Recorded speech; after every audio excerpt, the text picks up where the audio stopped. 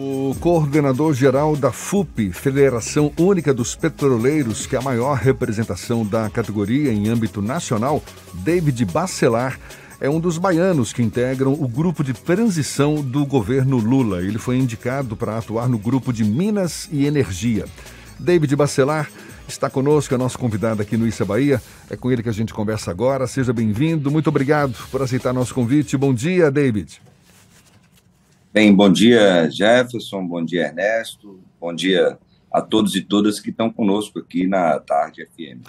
Desde já, parabéns pela sua indicação. Sei que você vai ter aí um, um grande desafio pela frente e queria saber qual a sua expectativa, o que, que nós podemos esperar da sua atuação nesse grupo de Minas e Energia na transição do governo Lula. Bem, Jefferson, a expectativa é grande. É, nós tivemos essa oportunidade, como você bem colocou, de estarmos integrando essa equipe de transição no grupo técnico de Minas e Energia, devido a esse histórico de atuação da Federação Única dos Petroleiros e Petroleiras em defesa de um setor de petróleo e gás e da nossa grande Petrobras, principalmente a serviço do país e do povo. A expectativa com relação à equipe de transição é de nós fazermos um bom trabalho de diagnóstico do setor para nós conseguirmos passar para a equipe de transição presidida pelo vice-presidente Geraldo Alckmin, mas também com a coordenação técnica do companheiro Aloysio Mercadante, a coordenação política da companheira Gleisi Hoffmann, um trabalho que permita que o novo governo ele tenha um diagnóstico para fazer com que o plano de governo do presidente Lula ele venha a ser colocado em prática é, com, obviamente, um acordo e diálogo com agora os 16 partidos que fazem parte é, de uma base desse novo governo popular, democrático, desenvolvimentista que teremos aí a partir de janeiro de 2023. É óbvio que é um trabalho que não depende apenas de mim, mas um trabalho que tem aí o apoio de outros companheiros, outras companheiras que são oriundas dessa área de petróleo, gás, setor elétrico e também de mineração, para termos aí, é, como dissemos, um diagnóstico preciso do setor, até porque o desmonte do Estado brasileiro ele foi muito grande no atual governo e, como tem dito o presidente Lula, nós precisaremos sim reconstruir o nosso querido Brasil. É, você toca num ponto que tem sido muito comum, inclusive, entre todos esses integrantes da, do grupo de transição do governo Lula, que é o desmonte, não é? Do governo em diversas áreas. Na sua avaliação, David, quais seriam então os desafios ou propostas de desenvolvimento desses setores de energia elétrica, mineração, petróleo, gás, biocombustíveis, uma vez que vocês estão buscando inicialmente um diagnóstico. A partir daí as coisas certamente vão ficar mais claras, mas já dá para apontar que desafios, que propostas seriam essas? Bem, Jefferson, o grande desafio, sem dúvida alguma, é de nós termos um projeto energético mais popular e uma energia mais acessível à população brasileira. E quando falamos energia, no sentido mais amplo da palavra. É inadmissível, por exemplo, que hoje tenhamos a energia elétrica com uma tarifação que exclui as pessoas em vez de incluí-las. É inadmissível que nós tenhamos hoje é, preços dos combustíveis no Brasil que também excluem as pessoas de algo que é tão essencial, é você ter energia para sobreviver, seja para iluminar sua casa, seja no caso dos combustíveis para se locomover, locomover os produtos por todo o Brasil e também para comer. Quando nós falamos do gás de cozinha, que hoje está com preço é, exorbitante, na casa de 120, 130 reais, correspondendo a mais de 10% do salário mínimo. Então, é óbvio que um dos grandes desafios é nós temos energia, no sentido pleno da palavra, acessível para a população brasileira. E, para além disso, sem dúvida alguma, teremos um desafio de fazer com que esse setor ele volte a ser um indutor da economia nacional, um indutor da indústria, da engenharia nacional.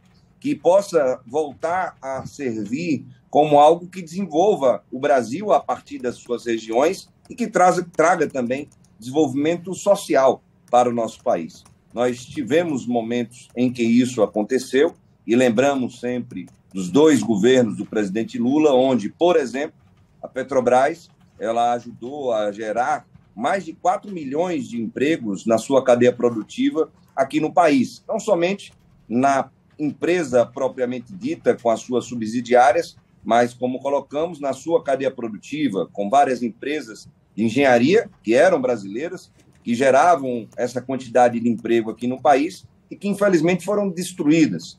E por conta disso, nós temos grandes encomendas, grandes obras é, que são encomendadas pela Petrobras, contratadas pela Petrobras, que são feitas com empresas de outros países, gerando emprego, renda para outros países. Então, sem dúvida alguma, esses desafios são os principais e teremos aí, até porque isso já está sinalizado no plano de governo do presidente Lula, uma oportunidade de fazer com que essas grandes empresas é, públicas estatais, também as empresas do setor privado que atuam nesse setor, possam ter essa potencialidade de ajudar na retomada do crescimento econômico no nosso país, até porque sabemos, é, Jefferson, que esse setor é bastante cobiçado, é, os interesses também são supranacionais, e que esses, esse setor de Minas e Energia, no sentido mais amplo, é, traz aí uma série é, de disputas, a exemplo de outros países, onde temos guerras que ocorrem justamente por esse setor que tem recursos estratégicos para todo e qualquer país. Ernesto quer fazer uma pergunta para você também, David. David, bom dia. Bom dia, assim, Ernesto. Bem objetivamente, qual é a expectativa que nós, cidadãos, podemos ter de uma mudança é, tão mais rápida quanto possível da política de preços da Petrobras? que aqui, por exemplo, a Petrobras vendeu a refinaria Landulfo Alves, que hoje pertence a um grupo é, árabe, que explora petróleo aqui em dólar, em, em, real, processa em real, paga mão de obra em real, todos os insumos, os principais em real, mas vende o preço para a gente dolarizado. Essa é a primeira pergunta que eu queria te fazer. A segunda pergunta é em relação às infraestruturas do que eu posso chamar de complexo Petrobras, não apenas a, a exploração, mas a rede de gasodutos, por exemplo foi vendida por um preço que serve para pagar apenas alguns anos de aluguel dessa mesma rede de gasodutos. Isso tudo impacta nos preços do, dos produtos que a gente compra aqui. Qual a expectativa que a gente pode ter, o que se discute na comissão de transição para a revisão dessas questões que nos afetam diretamente? Bem, Ernesto, é, de fato, essas são questões que a população ela coloca é, sempre é, para nós e, no caso, para a FUP já há algum tempo.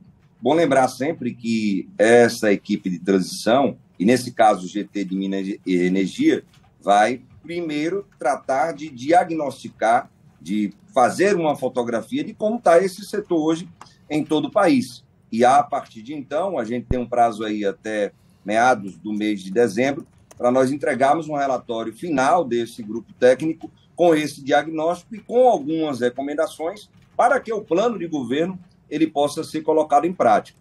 Sobre esses dois temas que você coloca, Ernesto, é, nós temos críticas substanciais a isso, porque, de fato, a Petrobras, que investiu bilhões de reais para construir os gasodutos aqui no país, que integram de norte a sul a nossa malha de gás, infelizmente, no governo atual, e assim como outras pessoas que aqui estiveram sinalizamos isso mais uma vez, houve um desmonte do Estado brasileiro, ele vendeu esse ativo a preço de banana e agora a própria Petrobras paga para usar esses gasodutos para transportar o seu gás natural. É inadmissível. Pior, Ernesto, que tudo que a Petrobras recebeu, nós estamos falando de 36 bilhões de reais, ela já pagou em forma de aluguel. É como se o ouvinte que está conosco aqui agora, Ernesto, tivesse a sua casa, vendesse a sua casa, e depois alugasse a sua própria casa para morar. E já nesse período de cinco, seis anos, já pagando tudo aquilo que recebeu pela casa. É algo inadmissível que aconteceu aqui no país, principalmente porque essa empresa, que era uma subsidiária da Petrobras, a TAG, a Transportadora Associada de Gás, a NTN, NTS, Nova Transportadora do Nordeste, Nova Transportadora do Sudeste, são as empresas mais rentáveis do país, segundo, inclusive, é, profissionais é, especialistas no mercado de petróleo e gás. E com relação à política de preço dos combustíveis, o próprio presidente Lula já tem colocado, desde a sua campanha, que ele vai abrasileirar os preços dos combustíveis. E com certeza isso significa que não teremos como continuar com o preço de paridade de importação, principalmente nos produtos que são fabricados, produzidos aqui no Brasil, como você colocou, Ernesto, com o petróleo brasileiro, do pré-sal, que tem um custo de extração mais baixo do mundo, hoje já abaixo dos 5 dólares, com refinarias brasileiras que têm um custo de refino menor do que muitas refinarias do mundo, e como você bem colocou, com trabalhadores, com fornecedores que recebem em real, não em dólar. Então não faz sentido um país como o Brasil, que é autossuficiente em petróleo, um país como o Brasil, que tem refinarias, que tem custos baixos, atrelar os preços dos combustíveis ao barril do petróleo no mercado internacional, a variação do dólar e a custos de importação de derivados de petróleo. Tudo bem, a parcela que é importada ainda, estamos falando aí, por exemplo, do diesel, entre 20% e 25% do que nós demandamos, demandamos nesse grande mercado, que é o sexto mercado consumidor de derivado de petróleo no mundo, você ainda tem uma lógica de aplicar o preço paridade de importação. Mas aquilo que é produzido aqui no Brasil não faz o menor sentido. E, felizmente, o presidente Lula já vem dizendo isso em toda a sua campanha, e, sem dúvida alguma, o novo governo, o novo Ministério de Minas e Energia, a nova gestão da Petrobras, sem dúvida, vai perseguir uma nova política de preços que leve principalmente em consideração os custos internos de produção de petróleo e de refino do petróleo aqui no Brasil. Está conversando aqui com. Em relação o... a, a. Perdão, Jefferson. A gente está conversando com o David Bacelar, que é coordenador-geral da FUP, Federação Única dos Petroleiros, e foi indicado para compor o grupo técnico de Minas e Energia na transição do governo Lula. Mas pode falar, Ernesto. Eu ia perguntar ao, ao, David sobre dois outros programas da Petrobras que foram desmontados, e, ou duas iniciativas, ou presença da Petrobras, que eram muito importantes. A fabricação de fertilizantes, para nós que somos o terceiro maior produtor de, de alimentos do mundo, e hoje dependemos, e a guerra Rússia-Ucrânia quase nos colocou à frente de um colapso, e o governo Bolsonaro fechou, vendeu a Fafem aqui e outras fábricas de fertilizantes. E em relação ao programa do biodiesel, porque a gente também tem uma planta de alta produtividade de biodiesel aqui em Candeias, a gente não sabe que fim que, que, que se dá, qual é a, a, condição, a situação dessa, dessa unidade de biodiesel aqui, o que é que a Petrobras pretende fazer, se por acaso se cogita retomar o programa de biodiesel, que tinha inclusive uma, uma ponta de estímulo à agricultura familiar muito forte. Né? Ernesto, sem dúvida, um outro grande desafio, talvez um dos principais, vai ser tornar novamente a Petrobras uma grande empresa de energia, uma empresa que tenha uma cadeia integrada e que agregue valor ao petróleo. É, nós tínhamos na Petrobras, dos governos do presidente Lula, do primeiro mandato da presidenta Dilma, uma empresa integrada que ia para além do poço ao posto, até porque tinha a BR Distribuidora que foi também privatizada, vendida, mas que ia do poço ao poste, que ia do poço ao pasto, como você bem colocou, com as fábricas de fertilizantes nitrogenados que tínhamos na Bahia, Sergipe, no Paraná, duas novas sendo construídas ali no Mato Grosso do Sul e também em Minas Gerais, em Uberaba. Essas duas plantas tiveram suas obras interrompidas, no caso do Mato Grosso do Sul, uma obra gigantesca, uma planta que atenderia 40% da demanda interna de fertilizantes nitrogenados. A obra está com mais de 80% de avanço, ela foi interrompida pela Operação Lava Jato. Tínhamos a Fafem Paraná, que está hibernada até hoje, desde 2020, já fazem então quase que dois anos que essa planta ela está parada. E tivemos a Fafem Bahia e Sergipe, que foram primeiro hibernadas, paradas e depois arrendadas para o grupo Unigel. Já há essa sinalização também no plano de governo do presidente Lula, da Petrobras voltar a ser essa empresa integrada. Inclusive, hoje, Ernesto, teremos uma reunião com a senadora Simone Tebet, que está é, também na equipe de transição, que é uma senadora oriunda do agro, e tá, estaremos ali conversando com ela sobre a necessidade de reabertura dessas fábricas e da, da, da conclusão da obra da Fafem Mato Grosso do Sul, que é na cidade dela, lá em Três Lagoas. E sobre é, biodiesel, biocombustíveis, energias renováveis como um todo, há também essa sinalização da necessidade da Petrobras ela observar a transição energética e ela fazer investimentos em renováveis que deem um futuro para a própria Petrobras. Porque a empresa de hoje, Ernesto, é com acionistas rentistas de curto prazo que querem chupar todo o petróleo que está ali no pré-sal para terem esses dividendos estratosféricos, mega dividendos, que infelizmente o atual governo está pagando para eles. Somente esse ano, lá se vão mais de 175 bilhões de reais via dividendos para acionistas. No ano passado foram 106 bilhões de reais. Esse dinheiro precisa ficar no Brasil. Esse dinheiro precisa se transformar em investimentos da Petrobras, principalmente aqui no nosso país, gerando emprego, renda, riquezas para o povo brasileiro. Até porque o presidente eleito Lula fez questão de se comprometer, não é? De colocar de novo o Brasil no protagonismo nesse cenário mundial que se volta para a defesa do meio ambiente, no combate ao aquecimento global. Você está citando aí os biocombustíveis, mas também tem o, hidro, o hidrogênio verde, não é?